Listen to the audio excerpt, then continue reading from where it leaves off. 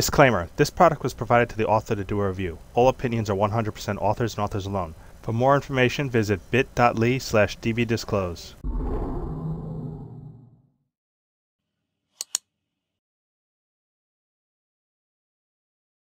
Hey guys, your friend Iggy back again. So I'm gonna go on a vacation now, and well, every once in a while I want to watch a movie, and Netflix doesn't have everything, and Redbox doesn't have everything. Sometimes, you know, I just want to buy a movie or have a movie that I might already have in my collection. I want to watch it again, and well, so what I found to be the best solution, you know, download something like the Leawo Blu-ray Ripper and then that way I can rip all of my Blu-rays. It doesn't matter if they're AACS or BD Plus protected or MKV or anything along those lines. This will take care of it. So to show you guys how to use it, I'm going to go ahead and, well, open up my Zombieland that I just bought and uh, rip it for you guys. So come over here, let's see how it's done. All right, so first off, I'm going to go to leawo.org forward slash blue dash ray dash ripper. I'm going to go ahead and download it and install it. So I already have it downloaded. And so now I just have to read through the legal agreement. So make sure you read them all here. Accept it. And you can either choose to create a desktop icon or remove it or a quick launch icon. So I'm just going to leave that default. And of course you can change the directory. So now just click install. Pretty simple install process.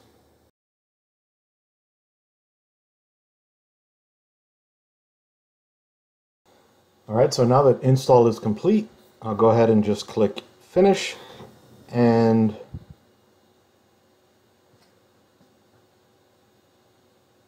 starts up the program. It also brings up the website just to let you know the installation was successful.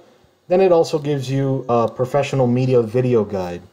So I have kids or I want to travel or I want to do a thousand, you know, different things and I don't want to be held back by the disc or have to bring my DVD or Blu-ray drive, which by the way, this also brings DVD decryption as well, aside from Blu-ray. I have a movie that I purchased and I want to let my kids watch it. And I don't have to worry about them scratching the disc and then waste another 20 bucks on a movie that I already own. Or I'm going to go on a business trip and I don't want to have to carry my DVD player around. I want to have a collection of movies that I own on my drive. So this is the perfect solution. So first off, what I'm going to do now that I've downloaded it, and they give you a trial, but I'm going to go ahead and click on this key and enter my activation key. Okay, and that activation key gives me the Blu-ray Ripper, and the DVD Rippers. And again, you can get that on their website.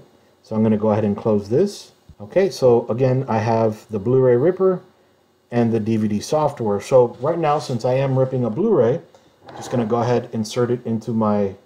While this is loading, this is going to protect you against different type of uh, encryption like AACS, AACS MKB version 2.5, MKV, CSS DVD, BD Plus, region code so you can play it anywhere you want to and play any discs you want to from any regions. Uh, it's going to let you also back up to M2TS or Blu-ray folders. It's going to let you convert, copy, and backup Blu-ray and DVD discs all region free. So, you know, it gives you a lot there. All right, now with my disc inserted, I'm just going to start the Blu-ray Ripper. So add Blu-ray DVD, add from CD, oh here we go. Zombieland. Now it's going to start reading the disc. Now while it's doing that, just know it doesn't have to be a Blu-ray or a DVD burner. It could just be a reader. So with that, you can read the content onto your machine, copy it, and there you have it. So now I'm going to go ahead. I can either do main movie without all the deleted scenes and everything, but one of the reasons I bought this Zombieland was because of the deleted scenes. So I'm going to go ahead and choose full movie. So now I click OK. It's going to start reading through all of the files on the disk. And don't worry, I'm not going to have you sit there with me as the entire ripping process occurs. I'm going to go ahead and fast forward all of this for you. So you see right now it's reading every single track, every single extra, every single deleted scene, every single bit of that Blu-ray disc or DVD disc. In this case, it's a Blu-ray.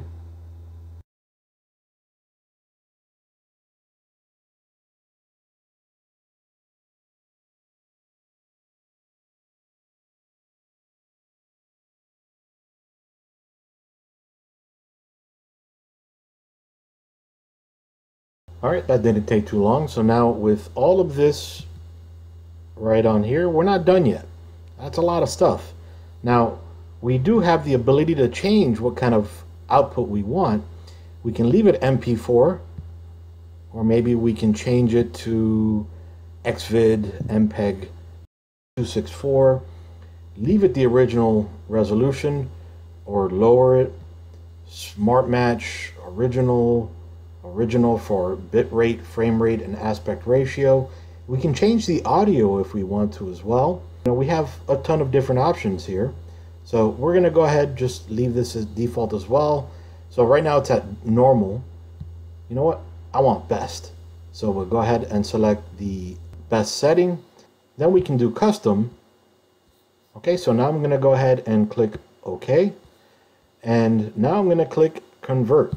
The file to, and that's fine. I'll just leave it there for now. And that goes ahead, and you'll notice every single file that we're doing here is going to get a little slider here to tell you just how long it's progressed ripping. So right now we can see we're close to 1%. The size of this file is 6.17 gigs. That's why it's taking a little bit longer here. But then you'll notice there's a 72.11 meg, 1.4 gig, and so on. So some files will take a little bit longer than other files.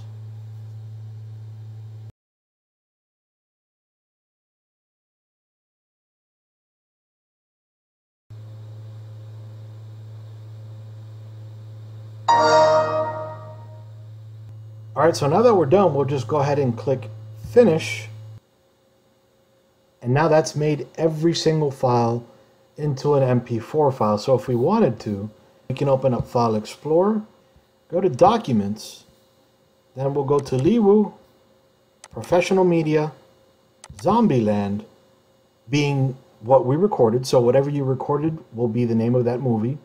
And then you'll find everything here. So the main one is that 6.02 gigabyte file, which is the entire movie. The rest of the stuff is all the extra chapters and all the extra cutscenes, deleted scenes, maybe all the other definitions. So everything's right here. Now, if you wanted to, go ahead and close this out. You can just select all of these files and then click merge all files to one. And rather than it be, you know, a thousand different ones, it could be all in one MP4. So after that, we can burn that onto a Blu-ray. We can just simply click over here, File Explorer again. We'll go to Documents, Leawo, Professional Media, and you can make a shortcut, Zombieland. So then we can just click here to add the video, add video. Now we'll go to that Zombieland. That adds the video, and then we can click burn, and that's going to burn it to a Blu-ray. Now, if you wanted to copy a Blu-ray, for example, in my case, where if I buy a movie, I always like to copy it, this will save me a step. I can copy the movie, then when it's done copying, pop in the blank, and then it'll copy that to the drive rather than wasting time ripping it to MP4 or to another format and then burning it back to disk. Okay, so then I can go to download and then I can go ahead and download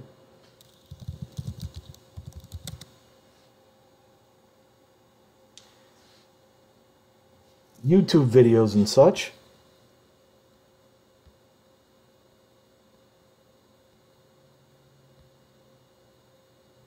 And then here gives you instructions on how to download them. It's not only a Blu-ray ripping software, it also allows you to download videos as well. And then here shows you the movies you've already downloaded or the videos you've already downloaded. So when you first download and install this, all of this is going to be trial. Now what I've shown you is what I've registered, the Blu-ray Ripper and the DVD Ripper. But again, you are able to try the software before you buy it. And then coming up over here to options, we can see all the different options. General, we can choose our language. Conversion, we can enable or disable the priority native codec enable streaming MP4 video, enable DVD Navigator, and then the max run. Copy and burn. Here it's going to show you the default video mode, which for me is NTSC, but you know you can also use PAL. And then over here, you are able to select the source region code where all the files download to enable GPU acceleration or disable GPU acceleration. If you're using a proxy, you can enable that here. And then the file direction, default encoding, and where you save your screenshots to, and the format of those screenshots. Well, that's about it for now. This is Iggy again, showing you the Leawo Blu-ray Ripper Suite. Iggy out. See you guys. Disclaimer This product was provided to the author to do a review. All opinions are 100% authors and authors alone. For more information, visit bit.ly slash dbdisclose. To have your product or brand showcased on Dragon Blogger, visit bit.ly slash review my product. Thank you for watching.